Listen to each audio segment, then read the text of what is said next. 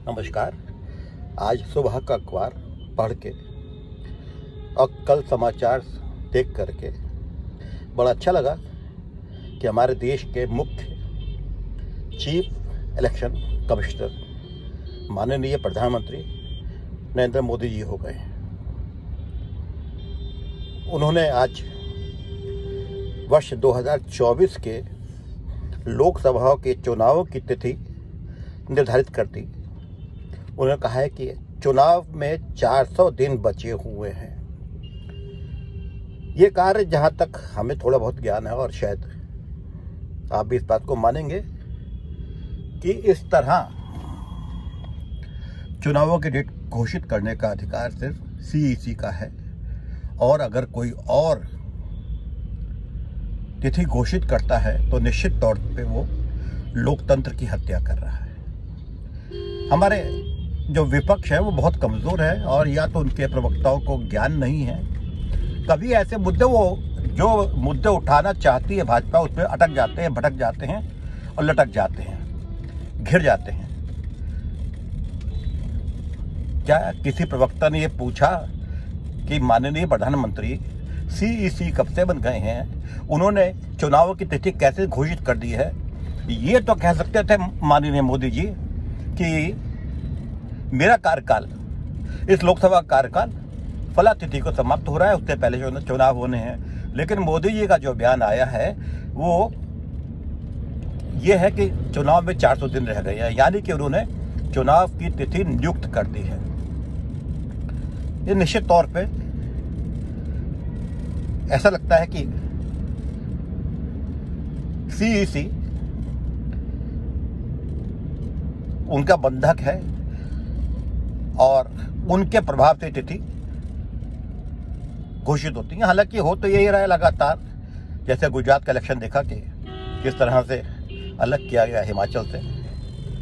और भी लगातार बातें आती हैं जिससे स्पष्ट हो जाता है। लेकिन प्रधानमंत्री जी के मुँह से स्वीकार करना एक तरह से कि सी सी पे उनका पूरा कंट्रोल है और वो स्टेचुरी बॉडी नहीं है कॉन्स्टिट्यूशनल बॉडी नहीं है। वो एक बंधक पार्टी है। अखिलेश यादव जी को तो नोटिस दे दिया सीईसी ने।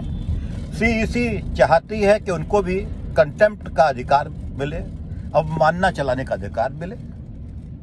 जैसे ऑनरेबल कोर्ट्स को है। जबकि आम जनता की राय और मेरी भी राय ये है कि अदालतों को भी अवमानना चलाने का अधिकार तब तक नहीं होना चाहिए, जब तक कोई व्यक्ति निजी स्वार्थों से अदालतों की अवमानना कर रहा है। अगर किसी कोई अपना विचार दे रहा है, किसी मुद्दे पे, किसी जजमेंट पे तो वो अवमानना नहीं होनी चाहिए। जब तक कोई बहुत ज़्यादा बदतमीजी न की जाए, तब तक अवमानना समानता चलती भी नहीं है और चलनी भी चाहिए। लेकिन वो अधिकार चाहता है सी सी क्यों? ताकि रूलिंग पार्टी जो चाहे उन पर दबाव डाल के कार्य करा ले। लेकिन कोई विपक्षी बोले तो निश्चित तौर पर उसकी सजा की दी जाए। तो मोदी जी ने लगभग स्पष्ट कर दिया है कि वो चीफ इलेक्शन कमिश्नर बन गए हैं देश के।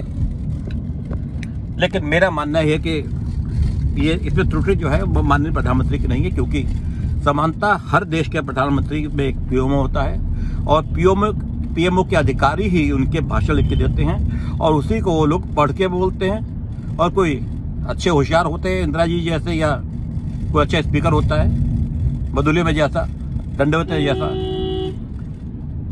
सतपाल मलिक जैसे, कई है, अच्छे स्पीकर हैं तो वो याद करके, कंठस्थ करके बोल देते हैं। लेकिन समानता जो प्रधानमंत्री होते हैं, वो लिखा हुए पढ़ते हैं और इस तरह के अधिकारी उनके पीओ में हैं, जो उनको बार बार गलत चीज़ लिख के देते हैं। जैसे श्यामा प्रसाद मुखर्जी का इंग्लैंड में मृत्यु होना, जैसे सिकंदर का पटना तक आना, पाटलिपुत्र तक आना, जैसे वो क्या था वो, आसाम में जाकर के जूस निकालना नारियल का। और वो बात जिसको राजीव राहुल गांधी जी के मुँह से कहला दी गई बात में। जबकि उन्हें रिपीट की थी माननीय प्रधानमंत्री का शब्द, आलू वाली बात। तो ऐसे माननीय प्रधानमंत्री जी को अपने पीएमओ या अपने जो भी उनके भाषण या उनके वक्तव्य लिख के देते हैं,